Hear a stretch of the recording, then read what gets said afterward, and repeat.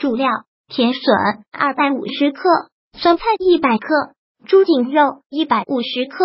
辅料：油、盐、姜、蒜、糖、葱。准备时间：十分钟内。制作时间：十到二十分钟。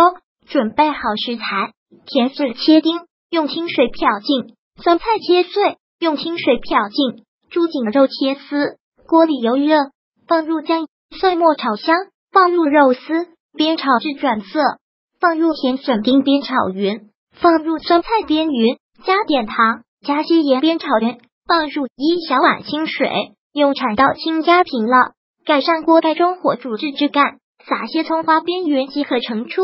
烹饪技巧：一个三名姐姐家学习做菜，姐姐不习惯爆料酒，说有姜蒜完全可以去除肉的膻味；二因为我们都不吃辣，成品图上的辣椒的后来放上去的。